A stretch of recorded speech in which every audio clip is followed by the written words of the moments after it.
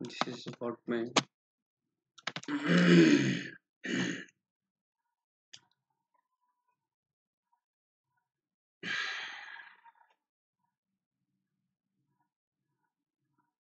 hello.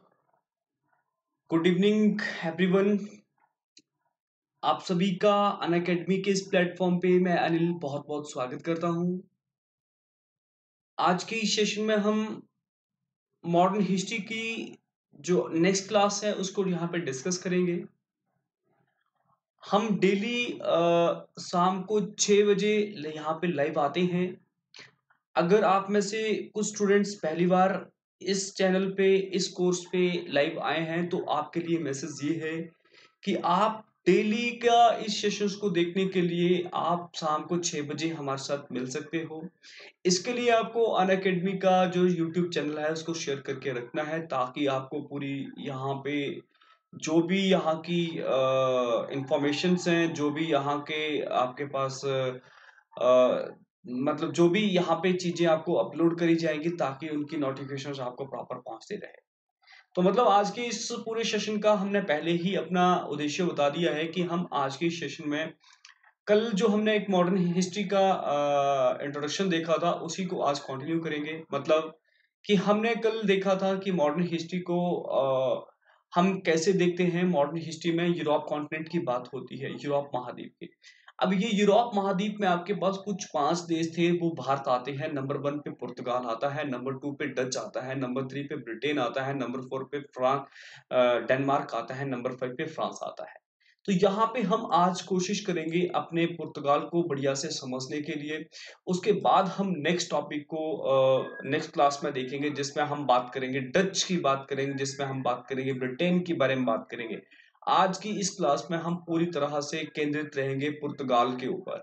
पहला देश जो भारत के ऊपर आपके पास राज करने लिए राज करने के लिए आया था लगभग ये आपके पास 1500 ईस्वी के आसपास यहाँ पे आता है।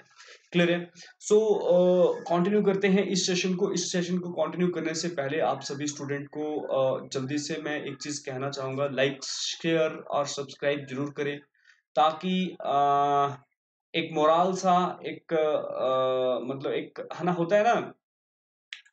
जब आप लोग कुछ ना कुछ हेलो हाय लिखते रहते हो जब आप अपना साथ हमारे साथ रखते हो तो हमें भी एक एनर्जी मिलती है कि भाई नहीं कि हम अच्छा काम कर रहे हैं और स्टूडेंट उस काम को यहाँ पे एक तरह से पूरी ईमानदारी के तहत आ, सीख रहे हैं। अगर आप लोग बिल्कुल चुप रहते हो तो मतलब कहीं ना कहीं जो टीचर्स है जो एडुकेटर्स है वो भी अपना चुप्पी दिखाता है अपने पढ़ाई में।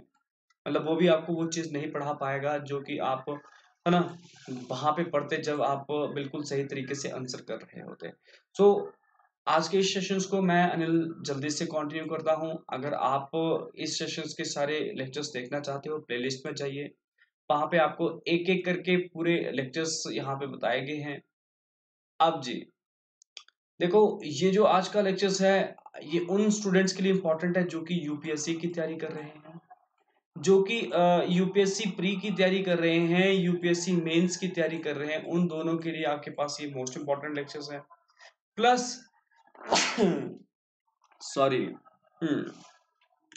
जो स्टेट पीएससी होता है ना स्टेट पीएससी स्टेट पीएससी में जो आपके पास पूछा, कुछ चीज़ें पूछ, पूछी जाती हैं, उसमें भी आपके पास ये इंपॉर्टेंट टॉपिक रहता है। क्लियर है मेरी बातें? हम्म। तो यहाँ पे ये चीज़ हमारे लिए इम्पोर्टेंट है कि वन सेकेंड ठंडा ज़्यादा हो गया है अब। हम्म। हाँ जी हाँ जी हाँ जी। सो कंटिन्यू करते हैं। हम्म। जी। मैंने बोला कि यहाँ पे स्टेट पीएससी के जो आप स्टूडेंट हो, उन आपके लिए भी तो ये most important topic most important session है मोस्ट इंपॉर्टेंट कोर्स है। तो आप सभी का काम यहाँ पे ये बनता है कि इस सेशन को बढ़िया से देखें और ज़्यादा से ज़्यादा लाइक और शेयर ज़रूर करें। क्लियर चलते हैं आज के इस लेक्चर्स के ऊपर, आज की इस क्लास के ऊपर। जी देखो, यहाँ पे हमने बात करी कि ये इन सभी एग्ज़ाम्स में आपके पास ये कोर्स हमारा इम्पोर्टेंट है। पर अगर मैं आपको यहाँ पे लिखूं कि भैया, इसमें जो हमारा टारगेटेड एग्ज़ाम है मतलब किस एग्ज़ाम्स को चलते ये किस एग्ज़ाम्स के लिए हम यहाँ पे ये चीज़, ये जो आपका कोर्स है, ये यहाँ पे लेके आए हैं। तो ध्यान रखो, यहाँ पे जो हमारा टारगेटेड एग्ज़ाम है, वो है बिहार पब्लिक सर्विस कमीशन कौन सा एग्ज़ाम है? बिहार पब्लिक सर्विस कमीशन अब बोला जाता है बिहार पब्लिक सर्विस कमीशन की अगर मैं यहाँ पे बात कर रहा हूँ तो बिहार पब्लिक सर्विस कमीशन को एक टाइम के लिए आप स्टॉप कर दो, एक टाइम के लिए पॉज कर लो। उसके बाद भी तो बिहार गवर्नमेंट बहुत से एग्ज़ाम निकालती है ना? हाँ तो उन सभी एग्ज़ाम्स की तैयारी आप हमारे साथ कर सकते हो। तो so crack all Bihar exams with us जिसमें आपके टॉप एडुकेटर्स आपको पढ़ाएँगे। अपना क्वालिटी का कंटेंट आपसे शेयर करेंगे, जिसके बाद आप वहाँ पे एक अच्छा लर्निंग एक्सपीरियंस गेन करके यहाँ से जाओगे। Let's crack Bihar exams with us so continue our session हाँ this is this slide shows let's crack Bihar exams and specially it shows BPSC exam crack BPSC Bihar public service commission exams with largest learning platform name Unacademy इसके लिए आपको ये समझाया जाता है कि आप आ, इसके लिए बीपीएससी की तैयारी घर में बैठ के कर सकते हो और जिसमें आपको आ, पूरे भारत के जो महान एडुकेटर्स हैं जो एक तरह से रेपुटेटेड हैं जिनको अपनी फ़ील्ड में अच्छे अनुभव हैं आप उनके साथ बैठ के अपने घर में ही इस पूरी पढ़ाई को कर सकते हो। तो भैया आज के टाइम में अन अकेडमी वो प्लेटफॉर्म बन चुका है जो कि घर घर तक अपनी शिक्षा पहुँचा रहा है। आज के इस लॉकडाउन के मंजर में आपके पास जो अन अकेडमी है वही सभी स्टूडेंट का सहारा है। सो so, प्लीज़ अगर आप इंटरेस्टेड हैं तो अन अकेडमी का सब्सक्रिप्शन ज़रूर लीजिएगा। दिस इज़ अबाउट मी मेरा नाम अनिल सुजानियन है। मैं जीएस पढ़ाता हूँ जनरल स्टडी पढ़ाता हूँ। पर इस कोर्स में मैं केवल और केवल हिस्ट्री डिस्कस कर रहा हूँ। मेरी जो बैचलर डिग्री है, मैं एक बैचलर इंजीनियर हूँ और मैंने अपनी engineering instrumentation and control stream से कंप्लीट करी है। मैं अपने टीचिंग एक्सपीरियंस की बात करूँ तो मोर देन थ्री ईयर मेरा टीचिंग एक्सपीरियंस है। कॉन्टैक्ट नंबर की बात करूँ तो मेरा contact number nine four five nine eight zero two zero eight five है। आप में से किसी भी स्टूडेंट को कोई प्रॉब्लम कोई दिक्कत, कोई डाउट आता है तो आप इस कॉन्टेक्ट पे, इस कॉल पे, इस पूरे जो आपके पास कॉन्टेक्ट नंबर है इस पे कॉल करके आप मेरे साथ जुड़ सकते हो और अपनी जो समस्याएँ हैं, आप उनको मेरे साथ शेयर कर सकते हो और अपनी पढ़ाई को बेहतरीन बना सकते हो। सो कंटिन्यू दिस स्लाइड्स देखो व्हाट यू विल गेट जब आप अन अकेडमी सब्सक्रिप्शन ले लेते हो तो आपको क्या मिलता है? डेली लाइव क्लासेस मतलब जो कि अभी आपको लाइव क्लासेस मिल रही है ना, वैसी ही लाइव क्लासेस आपको वहाँ पे डेली मिलेंगी। अभी आपकी फ्री लाइव क्लासेस है, यहाँ पे पैसे दे के आपके पास लाइव क्लासेस चलेगी तो ये फ़र्क होगा ना। एक फ्री की जो चीज़ें हैं, जो फ्री की आइटम है और जो एक पैसे से खरीदी गई आइटम है, उन दोनों में फ़र्क तो दिन रात का होता है ना। हाँ तो वही यहाँ पे बात है। यहाँ पे भी आपके पास उसी तरह से फ्री लाइव क्लासेस होंगी। फ्री जो लाइव क्लासेस होंगी, जो कि आपके पास वैसे जो अन अकेडमी पे जो फ्री लाइव क्लासेस चल रही हैं, उसी तरह से यहाँ पे आपके पास लाइव क्लासेस रहेगी, पर इन लाइव क्लासेस का आपसे चार्जेस लिया जाएगा, जो कि अलग अलग कोर्स के लिए अलग अलग चार्जेस है। और प्रेजेंट टाइम अगर बीपीएससी की बात करें तो उसके बहुत सही से चार्जेस हैं मतलब लगभग छः महीने की अगर आपको कोचिंग करनी होगी तो लगभग आपके पास तीन हज़ार खर्चा रहेगा, है ना? तीन महीने के खर्चे के लिए आपके पास कुछ और चाहिए, है ना? मतलब ऐसे ही है नॉर्मल नॉर्मल से आपके पास फ़ीस स्ट्रक्चर है, देखेंगे। पर अभी के लिए आप देखो कि यहाँ पे लाइव टेस्ट आपको मिलेंगे, है ना? मतलब टाइम टू टाइम आप लाइव टेस्ट दे पाओगे क्विजेस दे पाओगे। फिर आपको यहाँ पे बहुत से मॉक टेस्ट एंड क्विजेस लगाने का मौका मिलता है। स्ट्रक्चर कोर्स स्ट्रक्चर कोर्स आप समझते ही होंगे कि मतलब आपको एक लाइन में सिलेबस बता दिया जाता है, आपके एग्ज़ाम का सिलेबस बता दिया जाता है और आपको बता दिया जाता है कि आपको इसको कैसे पढ़ा, पढ़ना है, कैसे आपको यहाँ पे इसकी तैयारी करनी है। क्लियर है? जैसे मैं हिस्ट्री पढ़ा रहा हूँ तो मैं आपको पहले बोल दूँगा, भैया, आप हिस्ट्री पढ़ रहे तो आपको पहले स्टार्टिंग से अपनी पकड़ बनानी पड़ेगी जिसमें अगर मैं हिस्ट्री की बात करूँ तो हिस्ट्री के आपको पता ही है तीन पार्ट्स हैं एंशेंट मेडिएबल और मॉडर्न हिस्ट्री तो यहाँ पे मैं आपको पहले क्लियर कर दूँगा मॉडर्न हिस्ट्री जो है वो ज़्यादा वेटेज लेके चलती है।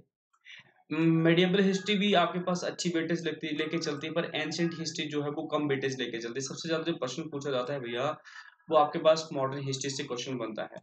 क्योंकि मॉडर्न हिस्ट्री में बहुत कुछ पूछने के लिए है ना यहाँ पे वो आंदोलन वो आंदोलन, सो आंदोलन तो ये आपके पास इंपॉर्टेंट है।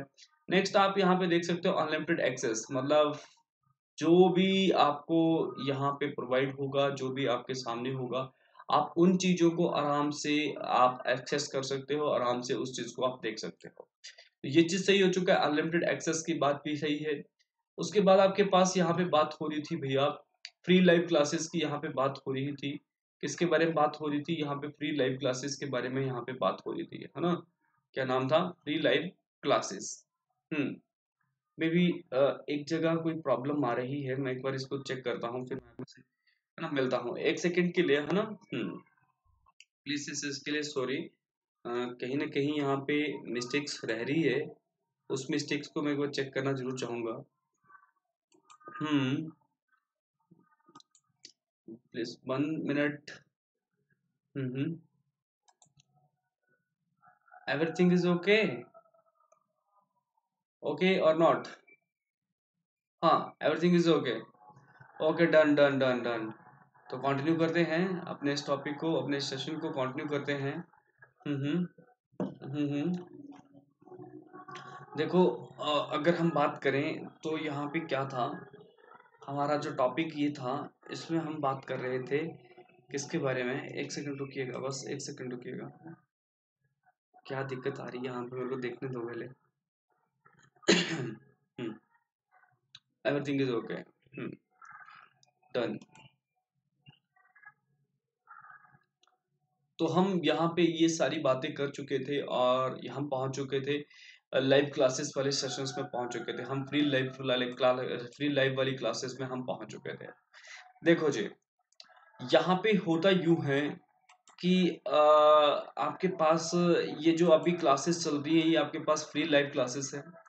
अगर हम बात करें फ्री लाइव क्लासेस की फ्री लाइव क्लासेस भी आपके लिए इंपॉर्टेंट हो सकती हैं पर फ्री लाइव क्लासेस का बेनिफिट उन्हीं स्टूडेंट्स को होता है जो कि पहले से ही इस एग्ज़ाम्स के बारे में जानते हैं, जो कि विग्नर हैं, जिनको आज तक पता ही नहीं है कि आपका बीपीएससी है क्या यूपीएससी है क्या। तो भैया, उनको तो मैं यही चीज़ बोलूँगा कि आप अन अकेडमी का सब्सक्रिप्शन ले लो, उसके बाद आप अपनी पढ़ाई को रेगुलर करो। फिर देखिएगा आपकी जो पढ़ाई है, आपकी जो यहाँ पे ड्रीम्स हैं, वो कैसे नहीं यहाँ पे पूरे होते हैं। क्लियर है? हाँ क्योंकि लाइव क्लासेस में हम देखो, जो फ्री लाइव क्लासेस है, उसमें हम कैसे आप लोगों को ट्रीट करते हैं? हम सोचते हैं, हमें यही लगता है कि आप लोगों को पहले से कोई चीज़ें आती हैं। क्लियर है? हमें ऐसा लगता है कि आपका लेवल काफ़ी अच्छा है, आपको सारी चीज़ों के बारे में नॉलेज है और हमें बस केवल और केवल आपको इम्पोर्टेंट टॉपिक से टच करवाना है। क्लियर है? हाँ तो जो मतलब फ़र्स्ट टाइम बिगनर हैं तो मैं तो उनको यही बोलूँगा अन अकेडमी सब्सक्रिप्शन पक्का लीजिएगा। क्लियर है? अब बात करते हैं अन अकेडमी सब्सक्रिप्शन की। तो अन अकेडमी सब्सक्रिप्शन है क्या? सब्सक्रिप्शन बोला जाता है कोर्स को। अन अकेडमी सब्सक्रिप्शन को बोला जाता है मतलब एक कोर्स क्लियर है? हाँ तो अन अकेडमी कोर्स है क्या? ये हम बात करते हैं, है ना? देखो, अन अकेडमी कोर्स की बात करी जाए, ये हर किसी एग्ज़ाम के लिए अपने अपने कोर्स निकालते हैं। मतलब यहाँ पे जो लोग एक तरह से तैयारी कर रहे होते हैं, उन्हीं को यहाँ पे कोर्स बनाने का मौका मिलता है। जो कि अपने क्षेत्र में एक अच्छे अनुभवी होंगे और उनका भी कोई रिज़ल्ट रहा होगा वही आपके लिए यहाँ पे कोर्स बनाते हैं। क्लियर है? तो मैं अगर अपनी यहाँ पे बात करूँ तो मैं खुद यूपीएससी प्री क्लियर कर चुका हूँ और यूपीएससी मेंस में आपके पास दो बार बैठा हूँ। पर बात यही है कि आ, अभी तक मतलब यूपीएससी फाइनल नहीं पहुँच पाया हूँ जब तक फाइनल नहीं पहुँच पाया था हूँ जब तक आपको पता है मतलब फेल और पास कोई बड़ी बात नहीं है, बस सिंपल सी बात यह है कि रिजल्ट्स मैटर करते हैं। रिजल्ट्स अभी तक मेरे कुछ खास नहीं है मतलब कि मेंस नहीं है। तो मतलब यही है, इसी चीज़ के लिए मैं भी अपनी किताबों से जुड़ा हूँ कि नहीं, आप लोगों को पढ़ाऊँगा, तब खुद ब खुद भी पढ़ूँगा। क्लियर है? हाँ। तो मैं आपको यहाँ पे ये चीज़ बता देता हूँ, अपने एक्सपीरियंस के अकॉर्डिंग यहाँ पे बता देता हूँ कि ये जो आपकी फ्री लाइव क्लासेस है, यहाँ पे आपको दी तो सब मैक्सिमम चीज़ें, पर कुछ चीज़ें आपको यहाँ पे नहीं दी जाती हैं। और जो चीज़ें यहाँ पे नहीं दी जाती हैं, वही आपको दिक्कत कर देती है। जैसे कि फॉर एग्ज़ाम्पल बता रहा हूँ कि स्ट्रेटेजी क्या है, कैसे आपको पढ़ाई करनी है, कैसे, किस तरीके से आप अपने पढ़ाई करोगे, फिर आप यहाँ पे वो लग जाओगे, है ना? अपना बढ़िया से काम कर लोगे, है ना? प्लस अब देखो, अब फ्री लाइव क्लासेस देख रहे हो ना अब फ्री लाइव क्लासेस में लगभग आपको दो से तीन लोग हिस्ट्री पढ़ा रहे होंगे। क्लियर है? मतलब बीपीएससी के लिए दो से तीन लोग आपको हिस्ट्री पढ़ा रहे होंगे। पर जब आप अन अकेडमी सब्सक्रिप्शन ले लेते हो तो आपको वही दो से तीन जो आपके एडुकेटर्स थे, अब वो वहाँ पे कितने हो जाते हैं? सोलह एडुकेटर्स हो जाते हैं। मतलब बीपीएससी का आपको मैं सिलेबस बताता हूँ। बीपीएससी में आपके पास कैसे काम चल रहा है? अभी बीपीएससी वाली जो आपके पास स्लाइड है, वो थोड़ी सी मूव हो चुकी है, वो ड्यू टू सम इशूज है ना? तो यहाँ पे बीपीएससी है। बीपीएससी जब आप यहाँ पे खरीदोगे तो आपको यहाँ पे क्या मिलेगा, है ना?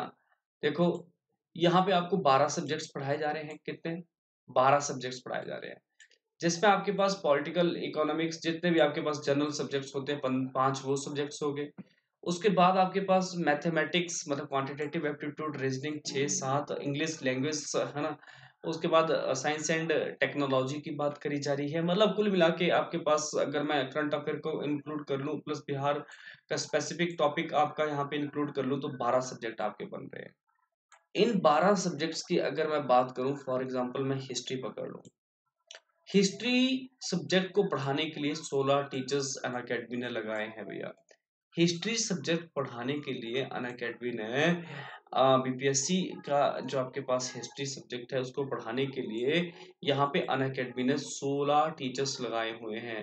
जिनमें से एक मैं हूँ मतलब यहाँ पे आप जब अन अकेडमी सब्सक्रिप्शन ले लेते हो तो वहाँ पे आपको मैं भी देखने को मिलता हूँ। पंद्रह और आपको वहाँ पे देखने को मिलेंगे। क्लियर है? तो अगर आप इंटरेस्टेड हो तो आप अन अकेडमी सब्सक्रिप्शन ले सकते हो। और अन अकेडमी सब्सक्रिप्शन लेना कैसे है? वो सारी जानकारी आपको अपने गूगल देवता से मिल जाएगी। आप गूगल पे सर्च करिएगा। How to subscribe how to purchase Unacademy subscription तो वहाँ पे आपको बहुत से कॉन्टेक्ट नंबर मिलेंगे। मतलब आपको सिंपल सा करना क्या रहता है, मैं आपको बता दूँ।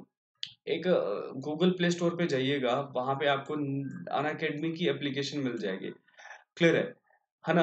अन अकेडमी लर्नर लर्नर एप्लीकेशन होगी, है ना? उस एप्लीकेशन को आपने अपने फ़ोन में इंस्टॉल कर लेना है।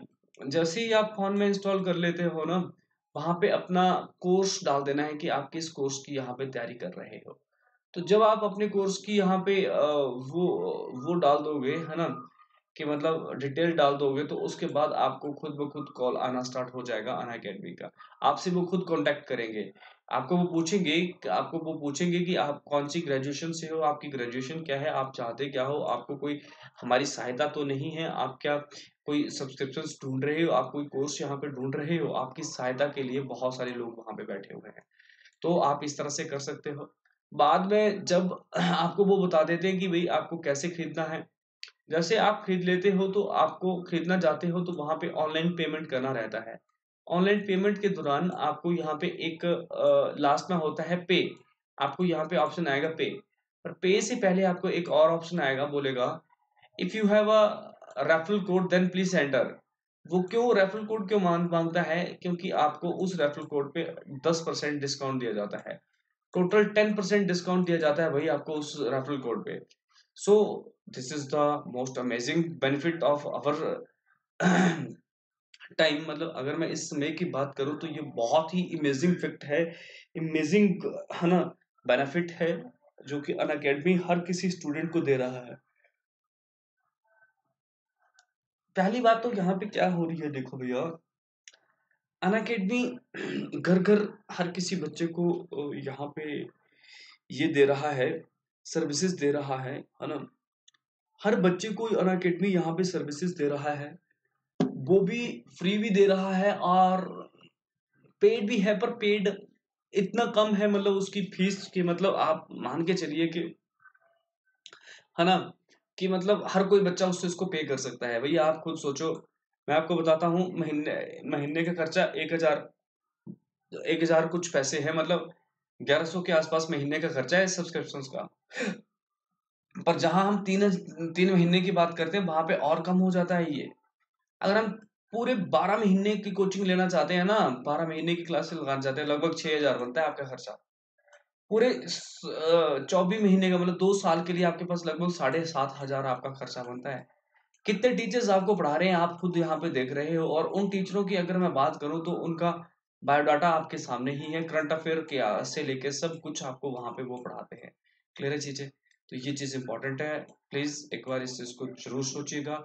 अगर आप सच में डेडिकेटेड हो तो मैं आपको बार बार यही बताता हूँ अन अकेडमी का सब्सक्रिप्शन ज़रूर खरीदिएगा। अन अकेडमी का सब्सक्रिप्शन खरीदने के लिए आपको क्या करना पड़ेगा? यहाँ पे पेमेंट करनी पड़ेगी। पेमेंट करोगे, तब आपको पूछेगा कि भैया you have any referral code आप बोलिएगा यस वहाँ पे बोलेगा सो प्लीज़ एंटर हेयर तो वहाँ पे आप भर दीजिएगा। वो जो रेफरल कोड है, वो क्या होगा? मैं आपको यहाँ पे लिख के दे रहा हूँ ए एन कैपिटल लेटर में लिखना आई एल क्या बन गया? अनिल बन गया? हाँ तो यही मेरा नाम है उसके बाद एस लगा देना।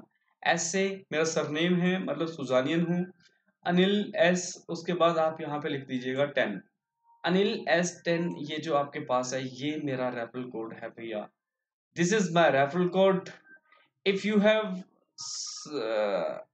the unacademy subscription so please enter the this referral code.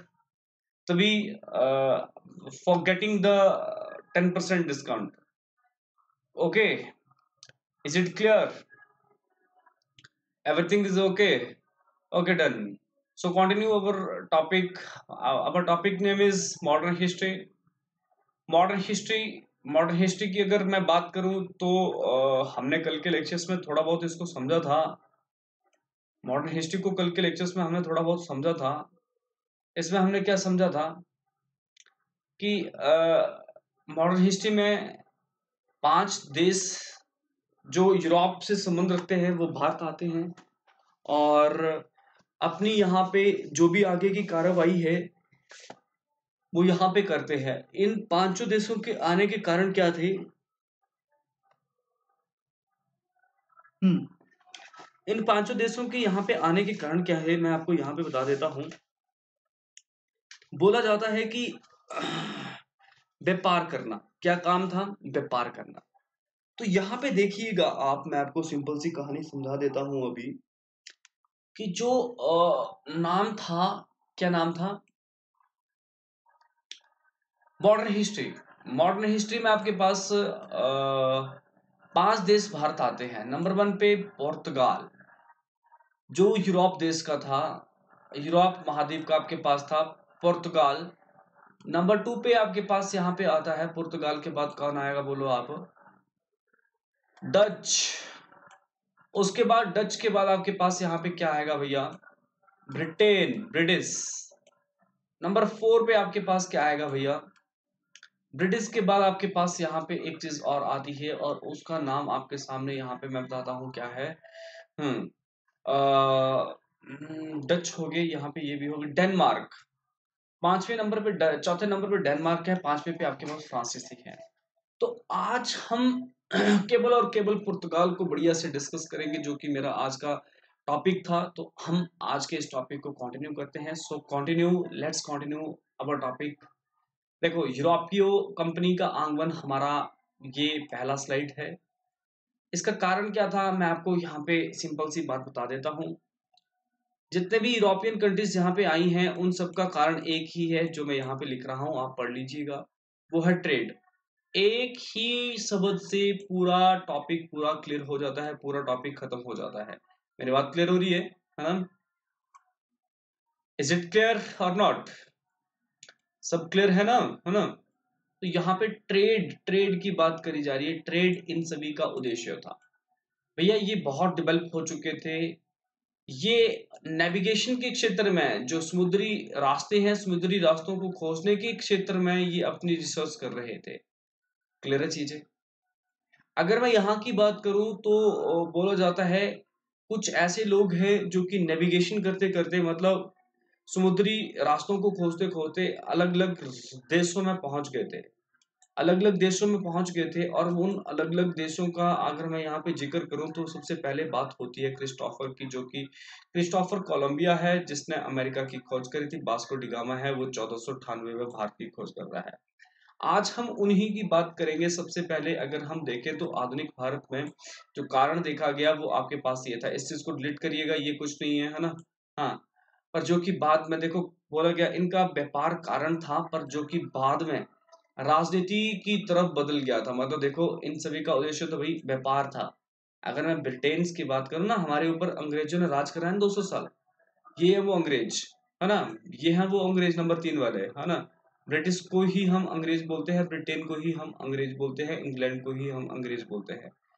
इन्होंने हमारे ऊपर 200 साल राज किया है। पर अगर मैं इनकी दिनचर्या की बात करूँ, इनकी सोच की बात करूँ, इनकी सोच हमेशा क्या रही थी? ट्रेड करना। और जैसे ये ज़्यादा ही ट्रेड करने लग पड़ते हैं अच्छा खासा इनको मुनाफा होता है तो उसके बाद क्या होता है? उसके बाद बोला जाता है, जैसे ही इनको अच्छा खासा मुनाफा होना लगता है तो उसके बाद आपके पास जो ब्रिटिश हैं, ब्रिटिश अपनी पॉलिटिकल जो लिमिटेशंस हैं, ये पॉलिटिकल सीमाएँ हैं पॉलिटिकल एरियाज़ हैं, उनको भी बढ़ाना स्टार्ट कर देते हैं। क्लियर है चीज़ें? तो आज के इस टॉपिक में हम कंटिन्यू करेंगे पुर्तगालियों से उसके बाद नीदरलैंड और अंग्रेज़ और डेनमार्क और फ्रांसीसियों के बारे में डिस्कस करेंगे। देखो जी सबसे पहले तो आप ये चीज़ ध्यान रखिएगा कि यहाँ पे सबसे पहले जो आपके पास व्यापार करते थे अरबी थे। कौन थे? अरबी थे।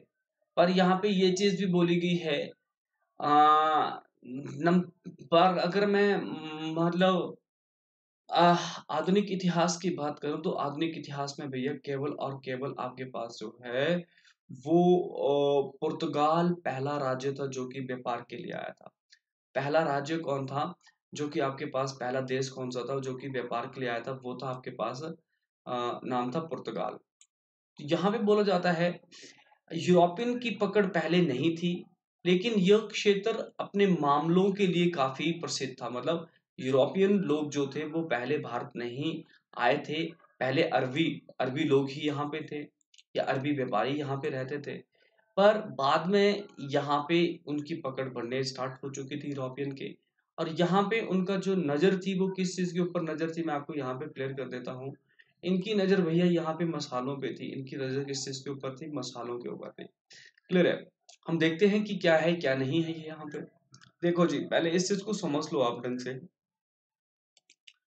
अगर हम बात करें, अगर भैया हम बात करें यहाँ पे किस चीज़ के बारे में, हम बात करें भैया अपने भारत के बारे में तो ये हमारा दक्षिणी भारत है, जहाँ पे आपके पास जो कि इससे संबंध रखता था, किससे? मॉडर्न इंडिया से संबंध रखता था। ये जो रीजन है ना, ये वाला जो रीजन है, ये जो रीजन है, ये कौन सा रीजन होगा बताओ जल्दी?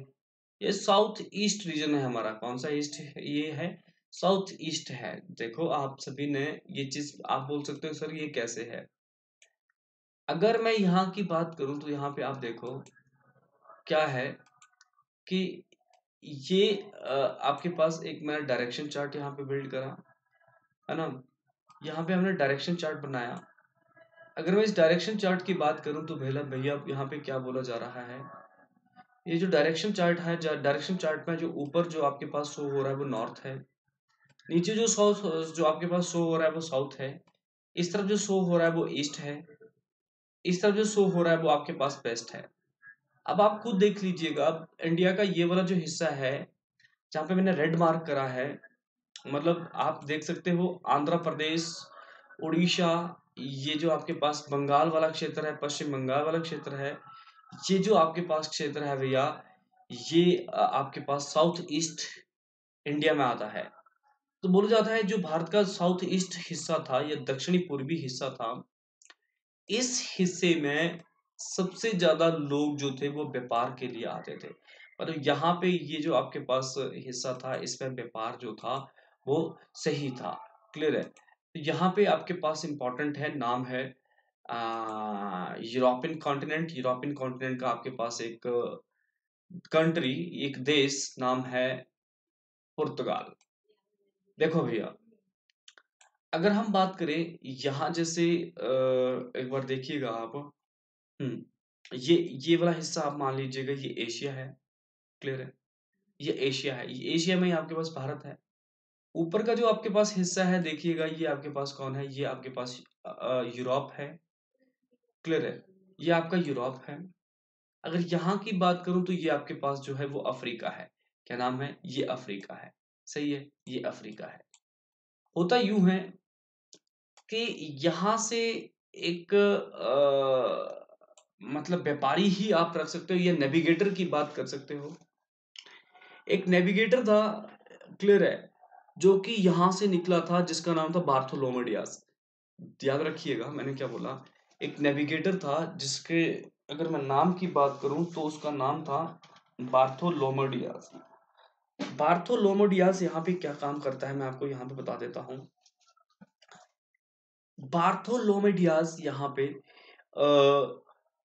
यहाँ से यहाँ से यूरोप महाद्वीप से चलता है और ये बिल्कुल जो कोस्टल एरिया होता है ना, कोस्टल एरिया समझते हो आप? कोस्टल एरिया समझते हो ना, जो तटीय रेखा, तटीय क्षेत्र होता है। वहाँ से ये चलना स्टार्ट करता है, वहाँ से ये चलना स्टार्ट करता है और जैसे ही यहाँ पे चलता है तो बोला जाता है, तट तट के किनारे चलते चलते यहाँ पे इसको क्या चीज़ प्रोवाइड होगी थी? हाँ तट तट के किनारे ये यहाँ पे चल रहा था। और ये तट चलते चलते चलते ये कुछ कहीं और ही पहुँच जाता है आपके पास, है ना? हम्म देखो क्या होता है। हम्म मैं आपको फिर से एक बार बताऊँगा। प्लीज़ देखिएगा इस चीज़ को। हम्म यहाँ पे मैंने बात करी, ये आपके पास अफ्रीका का पोर्शन ये है। ये वाला आपके पास अफ्रीका है है ना? ये सात जैसे में आपके पास अफ्रीका चलता है। यहाँ से बार्थोलोमेडियास चलता है, बार्थोलोमेडियास। वो बिल्कुल तट वाले क्षेत्र के साथ साथ है ना? मतलब वैसे थोड़ा ना समुद्रों में कूद ही जाना किसी ने, है ना? मरना थोड़ी ना है। वो ओनली कोस्टल एरिया के साथ साथ चलते हैं। बाद में ये जब यहाँ पे आ जाते हैं, जब ये अफ्रीका का बिल्कुल दक्षिणी बिंदु पार करने वाले थे ये दक्षिणी हिस्सा पार करने वाले थे। तो बोला जाता है, यहाँ पे इस दक्षिणी हिस्से को नाम दिया गया है कैप ऑफ़ गुड होप क्या नाम है? इंपॉर्टेंट है, देखिएगा। कैप ऑफ़ गुड होप तो कैप ऑफ़ गुड होप की आपके पास जो खोज है, वो बार्थोलोमेडियास करता है। नाम है बार्थोलोमेडियास। क्या नाम है? Bartholomew Dias. Cape of good hope ये कैप ऑफ़ गुड होप क्या है? ये जो अफ्रीका का बिल्कुल दक्षिणी पॉइंट है ना, बिल्कुल साउथ पॉइंट जो है ना, वही आपके पास क्या है? कैप ऑफ़ गुड होप अब, अगर मैं कैप ऑफ़ गुड होप की बात करूँ, इस रास्ते की खोज करी और इस कैप ऑफ़ गुड के बाद आपके पास जो बार्थोलोमेडियास था, वो भारत की तरफ़ थोड़ा थोड़ा बढ़ने लगा। क्लियर है चीज़ें? यहाँ पे देखो अगर मैं बात करूँ, ये टाइम था लगभग चौदह सो छियासी सतासी का टाइम था। चौदह सो छियासी सतासी का टाइम था जब आपके पास बार्थोलोमेडियाज भारत आया बार्थोलोमेडियाज ने इस रास्ते की खोज करी थी। क्लियर है? कैप ऑफ़ गुड होप की खोज करी थी। इंपॉर्टेंट है, पूछा था कैप ऑफ़ गुड होप की खोज किसने करी थी? कैप ऑफ़ गुड होप है क्या? आप खुद बताइए, क्या है cape of good hope? Cape of good hope कुछ नहीं है। ये जो आपके पास अफ्रीका महाद्वीप है, अफ्रीका महाद्वीप का बिल्कुल दक्षिणी सिरा, है ना, वही आपके पास कैप ऑफ़ गुड होप है। ऐसे आपके पास अफ्रीका महाद्वीप है, अफ्रीका महाद्वीप का ये जो नौकीला जैसा पोर्शन है ना, ये नीचे वाला, यही कैप ऑफ़ गुड होप है। इसकी खोज फ़र्स्ट टाइम किसने करी थी? नाम था हम्म बार्थोलोमेडियास। क्लियर है? अब जी, ये मैंने बोला, ये आया लगभग चौदह के आसपास कब आया ये। ये आया चौदह के आसपास। जैसे ये यहाँ पे आता है तो बोला जाता है, उसके बाद आपके पास लगभग ग्यारह से बारह साल बाद, है ना? ग्यारह से बारह साल बाद मतलब अगर मैं इसमें ग्यारह जोड़ दूँ तो कितना बन जाएगा ये? यहाँ पे आठ बन जाएगा, यहाँ पे नौ बन जाएगा क्लियर है? और यहाँ पे ये बन जाएगा। ठीक ग्यारह साल बाद आपके पास एक यात्री एक व्यापारी नाम था Vasco da Gama Vasco da Gama बिल्कुल सेम उसी रास्ते से आता है, जिस रास्ते से आपके पास कौन आया था? बार्थो डिमास आया था। बार्थो, है ना? बार्थो, है ना? क्लियर है? हाँ तो ध्यान रखिएगा, चौदह सौ अट्ठानवे ईस्वी में पहली बार भारत कौन आता है? बास्को डिगामा बास्को डिगामा को बोला जाता है भारत का खोजकर्ता। पूछा जाए भारत की खोज किसने करी है तो ध्यान रखिएगा बास्को डिगामा क्योंकि पहली बार भारत आया था समुद्री क्षेत्रों को क्रॉस करके, जिसने भारत में अपना कदम रखा था और ये भारत के किस क्षेत्र पे उतरा था, मैं आपको बताता हूँ। ये जहाज़ में आया था बास्को डिगामा भाई। ये देखो, ये जहाज़ में आया था। क्लियर है? यहाँ पे आप देख सकते हो, ये जहाजों में आया था। सही है? जैसे ये जहाज़ में उतरता है तो ये कहाँ उतरता है? ये दक्षिण भारत का जो केरला राज्य है मतलब केरला राज्य की अगर मैं आपको पहचान दूँ तो ये वैसे आपको पता होना चाहिए, केरला राज्य कहाँ है? हम्म ये जो आपका हिस्सा है, ये आपके पास केरला राज्य है। तो इस केरला राज्य में आपके पास सबसे पहले कौन उतरता है? पुर्तगाल। पुर्तगाल का एक व्यापारी नाम था बास्को डिगामा जिसने भारत की खोज करी है। यहाँ पे ये उतरता है इस क्षेत्र का नाम था, इस जगह का नाम था कोची। क्लियर है? कोची या एक पुलिकट झील है ना? है ना? वहाँ पे आपके पास पुलिकट झील में नहीं है यहाँ पे ये इस, यहाँ इस जगह पे उचरता है। आपसे क्षेत्र की बात करी जाए तो कोची, अगर स्टेट की बात करी जाए तो केरला। यहाँ पे भैया एक राजा होती है, नाम है जिमोरियन। क्या नाम है? जिमोरियन। जिमोरियन से ये यहाँ पे मिलता है। बस एक सेकंड के लिए थोड़ा सा रेस्ट लेना पड़ता है भैया इसमें भी।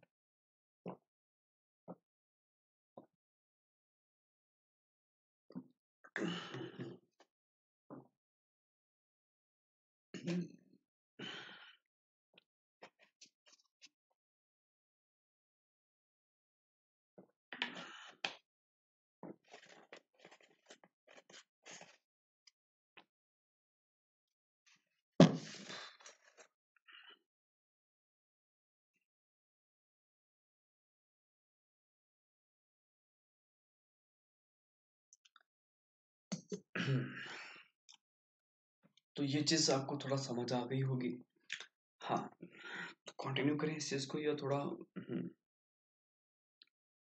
थोड़ा सा वेट कर लीजिएगा ना थोड़ा सा रेस्ट करना ज़रूरी है आप भी थोड़ा थोड़ा दिमाग को फ्रेश कर लीजिएगा हम्म।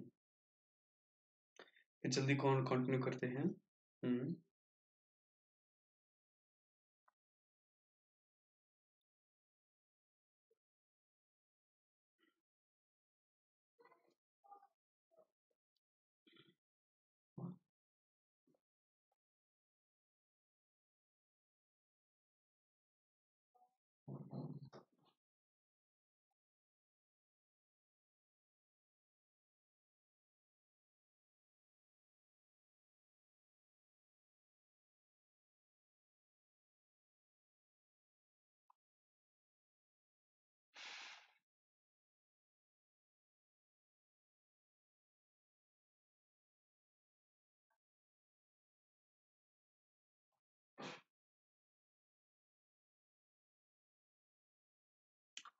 बास्को डिगामा पुर्तगाली की बात हो रही थी भैया। यहाँ आता है, केरला में आता है, कोची क्षेत्र में आता है, कालीकट बंदरगाह लिख लीजिएगा वहाँ पे ही आता है। वहाँ पे जैसे ही आता है तो अपना जो उसका काम है, उसको यहाँ पे वो कंप्लीट करता है। उसका आने का उद्देश्य हमने पहले ही बताया है, वो था भारत। क्या नाम था? क्या नाम था? व्यापार। तो यहाँ पे क्या चीज़ इंपॉर्टेंट है मैं आपको क्लियर करता हूँ। बोला जाता है कि ये जो आपका टॉपिक है, नाम है कौन सा? ये जो वास्को डिगामा वाला टॉपिक है, ये आपके साथ किस तरह से इम्पोर्टेंट है, मैं आपको यहाँ पे बता देता हूँ। ये जैसे ही भारत पहुँचता है तो भारत के जो दक्षिणी पूर्वी हिस्सा था, यहाँ पे इसको भैया बहुत सी चीज़ें प्राप्त होती हैं।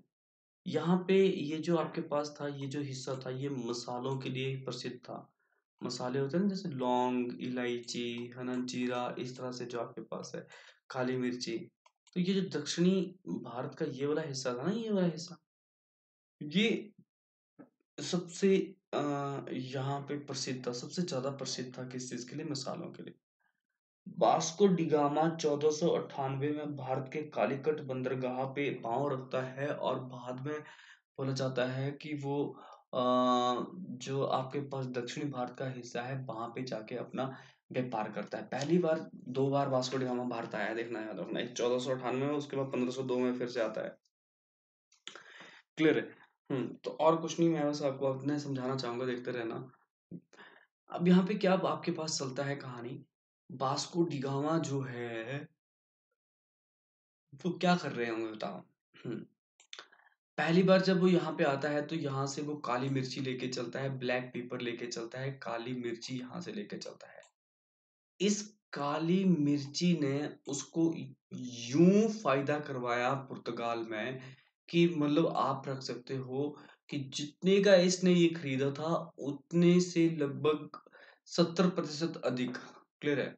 मतलब सौ का इसने माल खरीदा था तो एक सौ सत्तर रुपये उसमें से वो कमा रहा है। मतलब आधे से ऊपर मुनाफा भाई बहुत लंबी, बहुत बड़ी बात हो जाती है। अगर मान लो आप एक रुपए आप मान लो कि हज़ार रुपये का कोई सामान खरीद के आ रहे हो और उस हज़ार पे आप सात सौ और कमा लेते हो तो भैया वो तो आपका बहुत बड़ा मुनाफा हुआ ना। तो जब ये भारत से जाता है तो बाद में कैलकुलेट करता है कि उसको काफ़ी खासी, काफ़ी अच्छा खासा मुनाफा होता है। क्यों? क्योंकि भैया यहाँ से मसाले लेके चलता है। और मसालों की ब्रिटेन में बहुत डिमांड थी। वहाँ पे मीट मीट होता ना, मीट, है ना? मीट को प्रिजर्व करने के लिए, सर्दियों में मीट खराब ना हो, उसको प्रिजर्व करने के लिए उसके बाहर बोला क्या लगा दिया जाता था? हाँ काली मिर्चियाँ पीस के लगा दी जाती थी। इससे जो आपके पास मीट रहे, मीट जो है वो प्रिजर्व रहता था मतलब वो गंदा नहीं होता था, वो खत्म नहीं होता था, वो खराब नहीं होता था। ना मक्खी मच्छर उसके ऊपर बैठ सकते थे क्लियर चीज़ें? हाँ तो मीट और जो भी आपके पास अन्य कारण है जहाँ से बोला जाता है या जिन पे आपके पास ये जो बास्को डिगामा है बास्को डिगामा को क्या मिलता है? हाँ मुनाफा मिलता है, वो आपके पास सारी जो भारत में मिलती है। अब ये जो बास्को डिगामा है ना बास्को डिगामा अपने यार दोस्तों में भी इस चीज़ की चर्चा करता है कि भाई नहीं, मैं वहाँ गया था और वहाँ से मेरे को काफ़ी अच्छी चीज़ें प्राप्त हुई। है अब भाई जब ये इतना मुनाफा कर रहा है तो एक अलग सा आपके पास काम कर रहा है। जब अलग काम हुआ है मतलब पहली बार कहीं से आपके पास सामान, किसी और जगह से सामान आया है तो इससे भैया जितने भी आपके पास लोग थे वहाँ पे, उन्होंने तो कुछ ना कुछ क्वेश्चनिंग करनी ही थी ना। हाँ तो यहाँ पे इसके ऊपर क्वेश्चनिंग होती है बास्को डिगामा के ऊपर। बाद में ये बता देता है कि नहीं इस तरह से मैं यहाँ पे गया था। देखो भारत को सोने की चिड़िया क्यों बोल जाता है? भारत में वो सोने की चिड़िया तो थी नहीं है ना? मतलब कोई सच में कोई सोना तो था नहीं भारत के पास कि नहीं इतना बड़ा कि वो चिड़िया ही बंद यहाँ पे चिड़िया यहाँ पे सोने की थी। मतलब यही बातें हैं कि भारत में कुछ ऐसी चीज़ें थी जिनकी आ, मार्केट में काफ़ी अच्छी डिमांड थी इसीलिए भारत को सोने की चिड़िया कहा जाता है। सोने की चिड़िया यही पुर्तगाली हैं जो पहली बार यूज़ करते हैं भारत को सोने की चिड़िया। क्योंकि भारत में ये अच्छा खासा मुनाफा लेके चलता है, आपके पास नाम था नाम था Vasco da Gama Vasco da Gama Bharat में दो बार आता है, मैंने आपको पहले क्लियर कर लिया है। बास्को डिगामा भारत में दो बार आता है। इनके बारे में सबसे इम्पोर्टेंट क्या है कि ये 1502 में फिर से भारत आता है। दो बार भारत आता है है ना? फिर उसके बाद काफ़ी माल मूल ले गया था ये, उसके बाद तो भाई इसको ज़रूरत नहीं पड़ी कभी बाहर, वापस भारत आने के लिए। तो 1502 में फिर से आया, चौदह में फिर से आया था। उसके बाद बोल जाता है, इन्होंने पहली फैक्ट्री खोली। मतलब देखो जब ये कंपनी आ रही है ट्रेड करने के लिए, ये आ रही है, इन्होंने पूरा जिमोरियन, जो राजा था यहाँ का, केरला का, उससे जिमोरियन भाई मुगल मुगल राजा था वो, है ना? बोल जाता है कि यहाँ पे पहली फ़र्स्ट जो व्यापारिक फैक्ट्री है या जो पहली फैक्ट्री है, इनकी वो कहाँ खुली थी? वो खुली थी भैया कोचीन में। कोचीन मतलब केरला का जो आपके पास क्षेत्र है, वहाँ पे आपके पास खुली थी। दूसरी फैक्ट्री खुली थी कन्नूर में, तमिलनाडु में। दूसरी आपके पास फैक्ट्री खुली थी, दूसरी कंपनी आपके पास यहाँ पे खुली थी कन्नूर में। क्या नाम है? कन्नूर। क्लियर चीज़? है हाँ तो ये भी आपके पास इंपॉर्टेंट है सारी चीज़ें। नेक्स्ट याद रखना 1509 ईस्वी में प्रथम पुर्तगाली ब्यास राय। प्रथम पुर्तगाली राय भारत आता है, जिसका नाम था फ्रांसिस्को डी अल्विडा। क्या नाम था? Francisco de अल्विडा। क्लियर है? मतलब देखो, यहाँ पे व्यापार करने के लिए पुर्तगाल भारत आया है। 1500 मैंने कितनी बात करी? 1505 ईस्वी में। इनका एक आधिकारिक आधिकारिक व्यक्ति, है ना? आधिकारिक व्यक्ति भारत आता है। और जो आधिकारिक व्यक्ति था, उसका नाम था फ्रांसीसी, फ्रांसिस्को डी अल्मेडा। वो आधिकारिक व्यक्ति कौन था? वो व्यक्ति था भैया पुर्तगालियों का पहला वायसराय। इसने भारत में एक शांत जल नीति की घोषणा करी, क्लियर है?